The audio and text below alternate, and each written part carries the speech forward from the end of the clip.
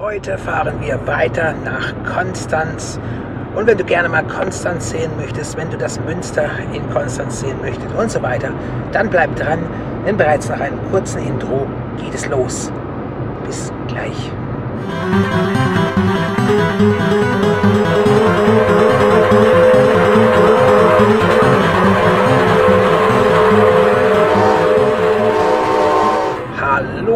Herzlich willkommen zu einer neuen Folge von Auf der Suche nach dem Glück.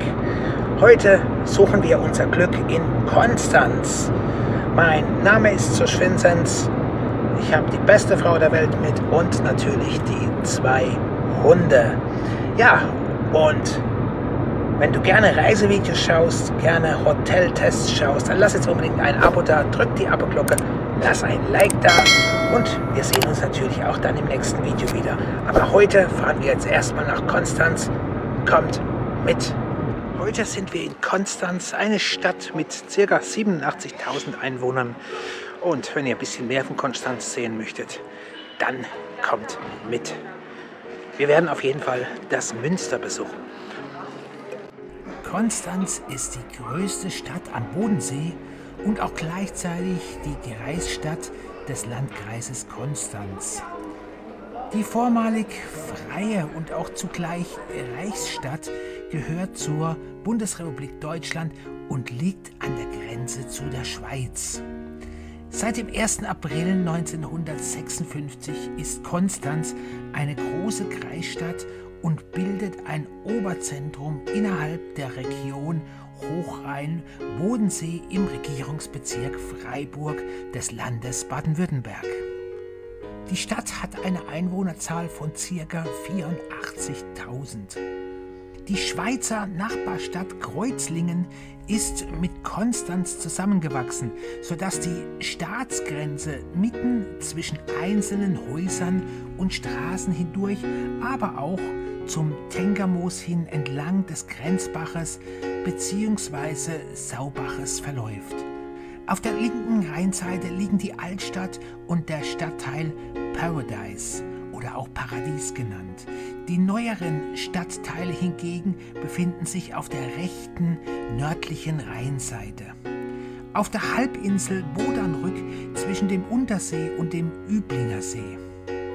Die Konstanzer Altstadt und die wesentlich anschließenden Stadtteile sind die einzigen Gebiete Deutschlands, die südlich des Seerheins auf der Schweizer Seite liegen. Dieses Gebiet ist auch neben der Kollerinsel bei Brühl eines der beiden linksrheinischen Landesgebiete Baden-Württembergs.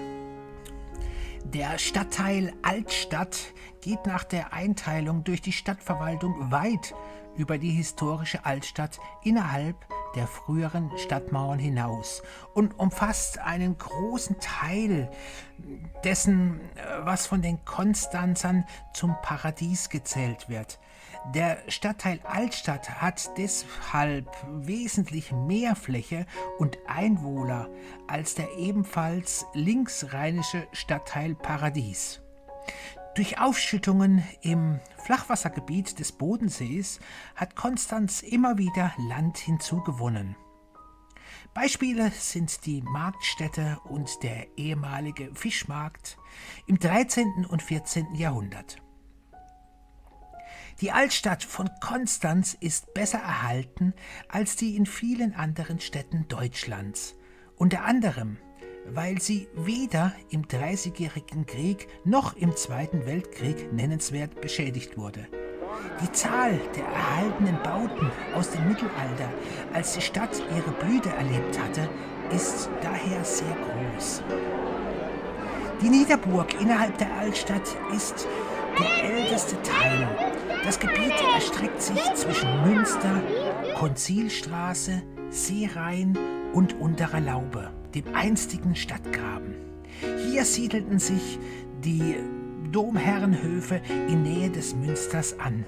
In Niederburg ist Heimat der Narrengesellschaft Niederburg Heute sind in den verwinkelten Gassen Weinstuben, Buchbinderei, Kunstglaser, weitere Handwerker sowie Behörden der Dominikanerklosters, Zofflingen, das Landgericht, das Notariat, das Theater Konstanz und die Spitalkellerei Konstanz angesiedelt.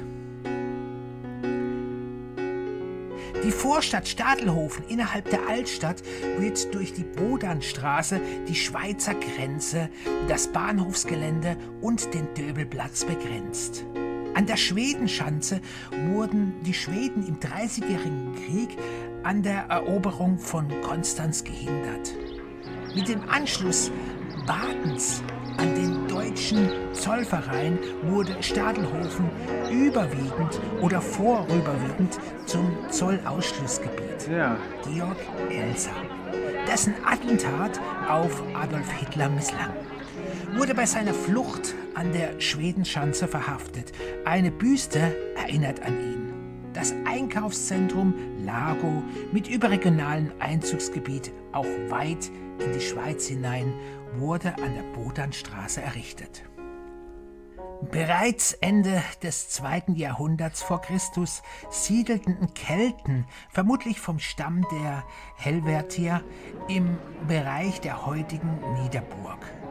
Unter Kaiser Augustus wurde das Gebiet um den Bodensee kurz vor der Zeitenwende für das Römische Reich erobert und gehörte fortan zur Provinz Raetia. Und direkt hier vor uns seht ihr die Imperia vor dem Konzil. Vermutlich um 585 zog der Bischof Maximus aus dem in der Völkerwanderungszeit etwas unruhigen Findonisia in das geschützte liegende Konstanz um und wurde zum Stadtherren. Wohl um diese Zeit wurde teils auf den Fundamenten der spätantiken Festung ein erster Vorgängerbau des heutigen Münsters errichtet.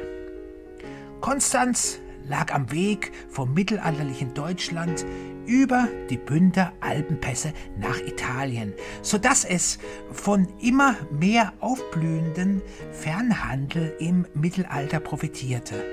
In der Folge wurde die Stadt mehrfach in Richtung Süden erweitert und auch der Hafen wurde mehrmals verlegt.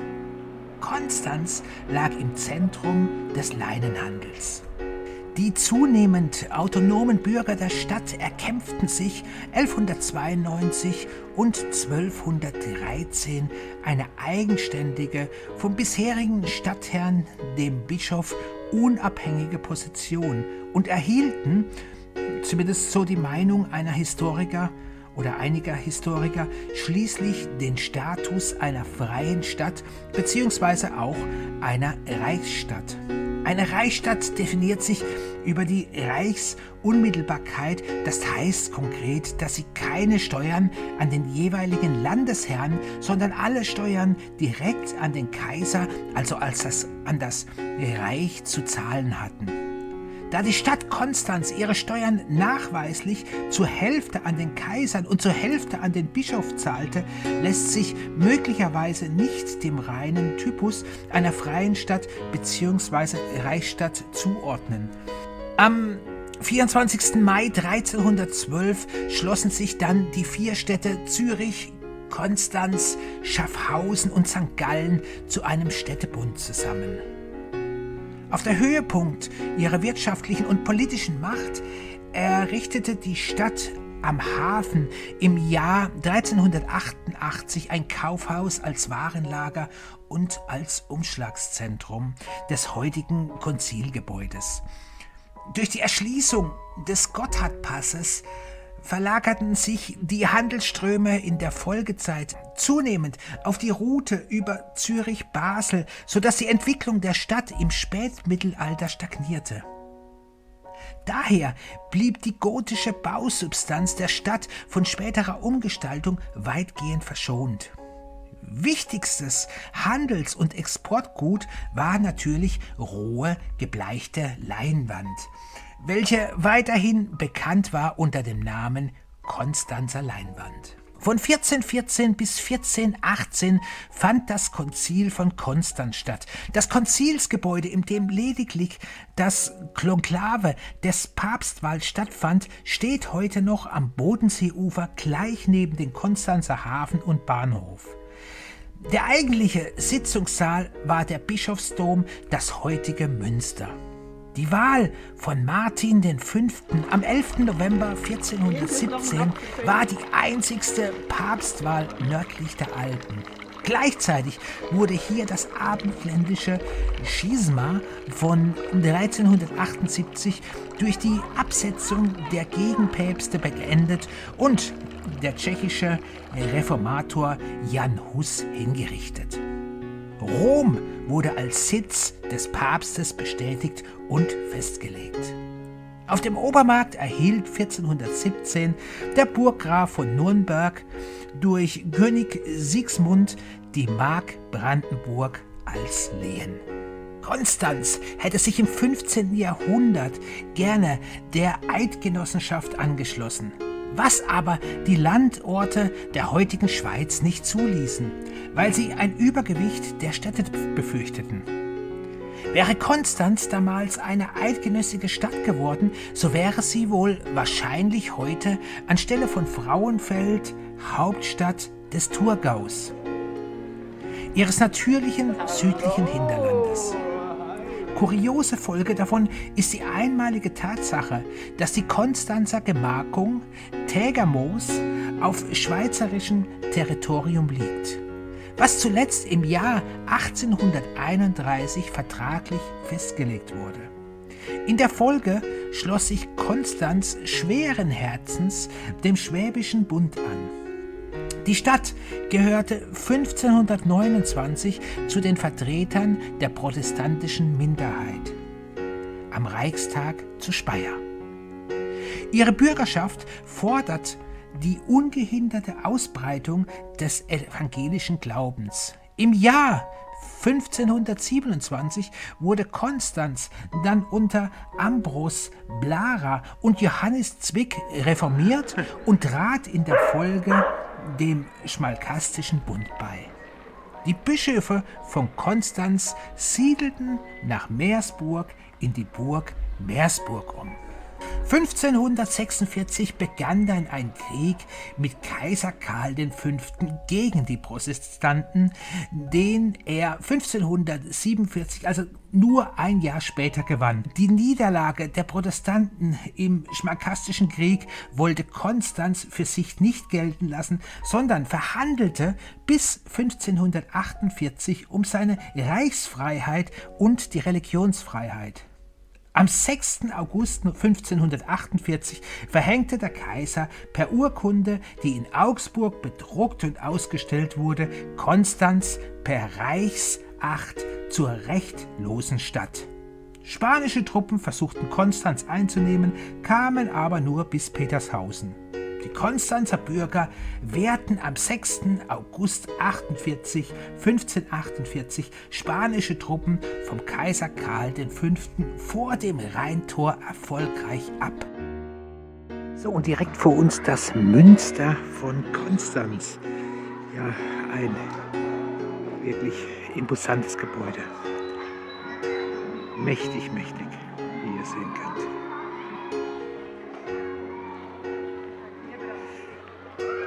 Soweit ich mich erinnern kann, ist es aus dem 9. Jahrhundert. Wenn ich falsch liegen sollte, schreibe ich es euch jetzt nochmal hier hinzu. Nach der Belagerung durch die Österreicher einige Wochen später kapitulierte Konstanz am 13. September 1548 und fiel dadurch an Österreich. Es verlor natürlich dadurch den Status als freie Stadt. Im Jahre 1439 starben mehr als 4000 Menschen in Konstanz an der Pest. Die Pestepidemien des 16. Jahrhunderts im Bodenseeraum erfassten natürlich auch Konstanz. In den Jahren 1518, 1519, 1529, 1541, 42 Margarete Blara pflegte im Spital auf der Dominik Dominikanerinsel die Pestkranken und starb 1541 dadurch oder wahrscheinlich dadurch selber an der Pest. In den Jahren 1611, 1612 starb ein Drittel der Konstanzer Bevölkerung an der Pest. Die österreichische Zeit begann, wie bereits erwähnt, 1548 und ging bis 1806, als nach der Entdeckung Amerikas der transalpine Handel, dem die Stadt ihren Reichtum verdankte, langsam an Bedeutung verlor, da sich die internationalen Handelsrouten verschoben, betraf dies natürlich auch Konstanz. Konstanz wurde nach der Kapitulation 1548 durch Schenkung des Kaisers Karl V. an seinen Bruder Ferdinand in das Habsburger Vorderösterreich eingegliedert und im Zuge der Gegenreformation rekatholisiert. Es verlor seine Bedeutung und wurde eine vorösterreichische Landstadt, die Fürstbischöfe behielten jedoch Meersburg als Resistenzstadt bei. Konstanz gehörte bis 1806 zu Vorderösterreich. Die Stadt bediente den Habsburgern als Bollwerk wegen einer weiteren Expedition der Eidgenossenschaft nach Norden. Im Dreißigjährigen Krieg wurde Konstanz von dann von den Schweden 1633 belagert, aber die Kernstadt wurde nicht eingenommen. Zum Gedenken an den stecken gebliebenen Vormarsch der Schweden ist neben der Brücke von Festland zur Mainau das Schwedenkreuz auf ein schwedisches Kanonenrohr montiert. Im Bodensee zu besichtigen während des gesamten Krieges war Konstanz eine der wichtigsten Festungen am Bodensee.